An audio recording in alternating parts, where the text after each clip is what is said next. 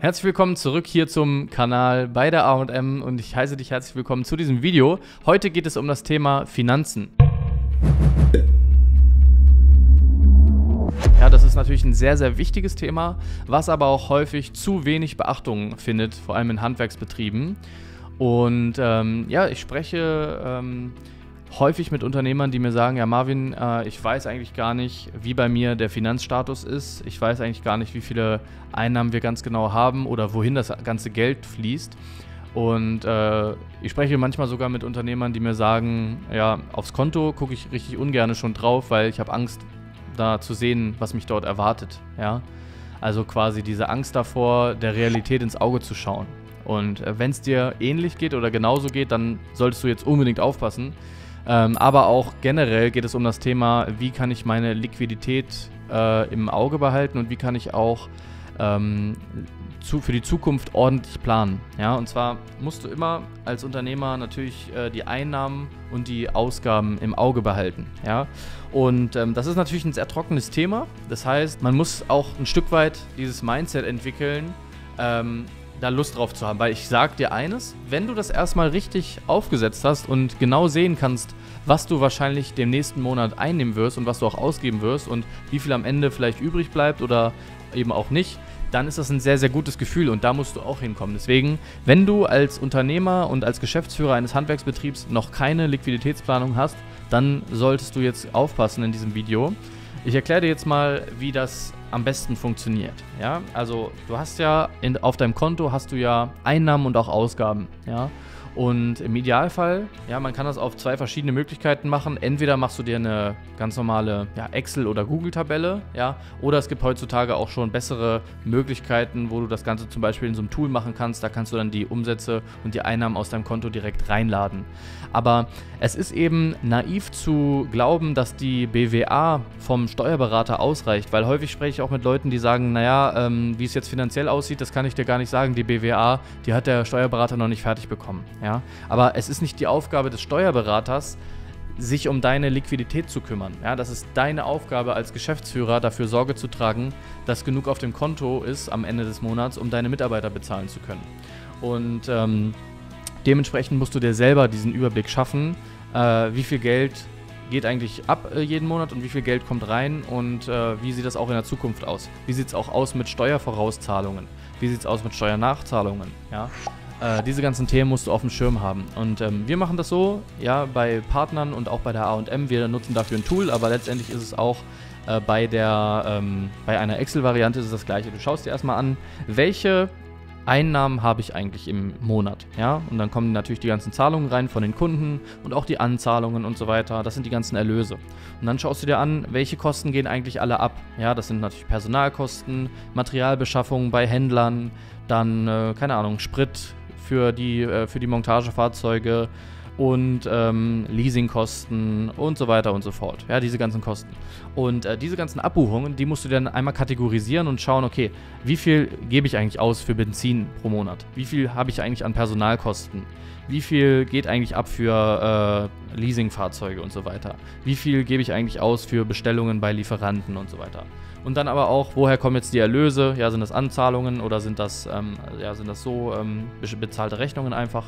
Und dann hast du am Ende eine Übersicht aus den verschiedenen Monaten, wo du dir anschauen kannst, ja, im Januar habe ich so und so viel ausgegeben in der Kategorie, ja, im Februar habe ich so und so viel in der Kategorie ausgegeben und so weiter. Ja, und dann hast du eine schöne Übersicht, wie viel du in der Vergangenheit in diesen Monaten ausgegeben hast und auch wie viel du in diesen Monaten immer eingenommen hast und kannst das dann immer gegeneinander gegenüberstellen, ja, und dann auch sagen, gut, an diesem Monat, also in diesem Monat ist so und so viel übrig geblieben, in dem Monat hatte ich ein leichtes Minus, ja, dann hatte ich wieder ein gutes Plus und so weiter und da kannst du das dann immer schön sehen. Und jetzt ist natürlich das Wichtigste, daran zu schauen, gibt es da irgendwelche Dinge, die mir so vorher gar nicht aufgefallen sind, weil der erste Schritt ist erstmal das Ganze überhaupt aufzusetzen, dass du überhaupt mal eine Transparenz hast. Und glaub mir, diese Transparenz zu haben, die wird dir einiges an Druck von den Schultern runternehmen, weil du dann endlich mal weißt, äh, was eigentlich Sache ist in deinem Unternehmen. Ja? Wie viele Ausgaben hast du eigentlich? Wie viele Einnahmen hast du eigentlich?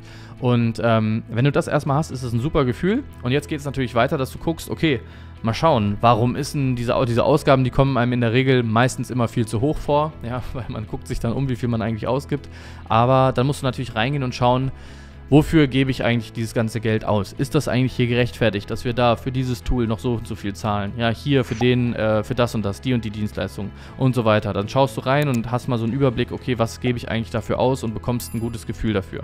So, und dann musst du natürlich schauen, ähm, wie sind meine Ausgaben auch in Zukunft. Und dann kannst du quasi von der Vergangenheit in die Zukunft auch planen, dass du sagst, jetzt einfach mal als Beispiel, ich gebe als Betrieb 150.000 Euro aus jeden Monat, ja, oder habe ich in der Vergangenheit immer so ungefähr, ähm, keine Ahnung, 140, 160, 150 und so weiter, immer mal so schwankend.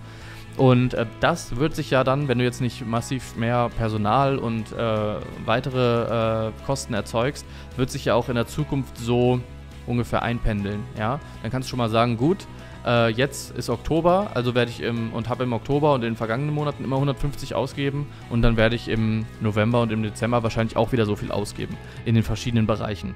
Und äh, was du dann machen solltest, ist, dass du dann auch die Einnahmen, die du voraussichtlich haben wirst, ja, auch da hast du ja einen Trend, ja, entweder geht der Trend hoch oder nach unten oder es, es stagniert.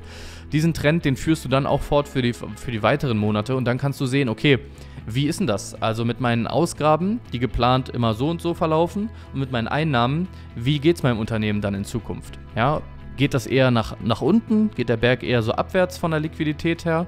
Ne, weil dann errechnet sich ja auch dein Kontostand von dem, was jeden Monat übrig bleibt oder eben abgeht, also was du minus machst, verringert sich ja entweder dein Kontostand oder der sollte sich natürlich im besten Fall erhöhen. Und ähm, was man dann eben noch machen sollte, ist solche unvorhergesehenen Sachen, ja, die sind für viele immer unvorhergesehen, äh, ist das Thema Steuern, ja. Äh, was ich immer mache, ich rufe meinen Steuerberater an und sage, du, pass auf, dieses Jahr, wie sieht es aus mit Vorauszahlungen, mit Nachzahlungen und so weiter? Haben wir da schon fixe Daten, wann gewisse Zahlungen auf jeden Fall ab, abgebucht werden oder, oder gemacht werden müssen? Und dann sagt er mir, Marvin, ja, wir haben hier im Mai einmal so und so viel 1000 Euro und dann nochmal im August nochmal so und so viel 1000 Euro. Dann sage ich immer, hm, okay, ist nicht schön, aber ich weiß es zumindest, ja. Blöd ist es immer, wenn du im August auf einmal aufs Konto guckst und siehst, oh, 100.000 Euro runter. Mist. Das sollte man verhindern. Und dann habe ich es lieber, dass ich äh, ein Dreivierteljahr vorher weiß, okay, im August werden mir diese 100.000 Euro abgebucht. Ja, das habe ich lieber, als dass ich im August drauf schaue und sehe, okay, ist runtergegangen. Dann nehme ich nämlich meine Kalkulation und sage schon, hey, im August werde ich diese 100.000 Euro ausgeben, das plane ich jetzt schon ein. Also, wie muss ich meinen Kontostand und wie muss ich meine Kosten bis dahin managen, dass ich dann nicht äh, ja, in, den, in, den, in den schlechten Bereich reinrutsche. Ja? Und ähm, das mache ich dann mit mehreren Vorauszahlungen und dann kann ich schon sehen, okay, übers Jahr hinweg verhält sich das Ganze ungefähr so oder so, je nachdem, was ich auch sage. Gut, wenn ich vom Vertrieb her ein bisschen wachse, äh, dann wachsen natürlich auch die Umsätze äh, idealerweise, dann kann ich einen gewissen Trend noch angeben. Und ähm, sowas solltest du auf jeden Fall als Geschäftsführer haben.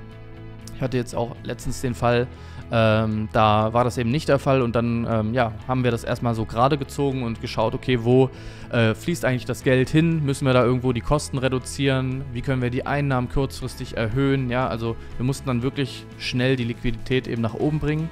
Und äh, das schafft man eben, indem man sich erstmal so einen Überblick verschafft, wie die Situation überhaupt ist. Ja, das Ganze ist natürlich äh, ja, relativ ähm, aufwendig auch, aber es ist, es ist die Arbeit wert. Ja, und äh, wenn du Fragen dazu hast, dann äh, melde dich gerne hier in den Kommentaren oder melde dich auch gerne bei uns direkt auf der Webseite www.am-beratung.de. Wir beraten auch Fachfirmen rund ums Haus und eben Handwerksbetriebe auch bei diesen Geschäftsführerthemen. Ja, also wenn du sagst, Marvin, das ist ein Thema, das, da habe ich mich wiedererkannt, da hast du bei mir genau ins Schwarze getroffen, dann melde dich auch gerne bei uns. Ja, da können wir dir auch weiterhelfen äh, wie du dieses Thema auch in den Griff bekommen kannst. Ähm, klick einfach hier irgendwo unter dem Video, da findest du auch den Link zu unserer Seite. Ja, so viel dazu. Also ähm, wie gesagt, das ist ein Thema, das solltest du dir zu Herzen nehmen und auch mit, ähm, mit einer hohen Wichtigkeit belegen. Und ähm, ja, wenn das für dich hilfreich war, diese Tipps, die ich dir gegeben habe, dann gib dem Video gerne einen Daumen hoch, ja, oder schreib mir auch gerne, wenn du Fragen dazu hast, was man dort empfehlen kann, schreib das gerne in die Kommentare. Ansonsten hoffe ich, dass es dir weitergeholfen hat und ich wünsche dir noch einen erfolgreichen Resttag oder eine Restwoche, je nachdem, wann du dieses Video schaust. Und ja, bis zum nächsten Video. Bis dann. Ciao.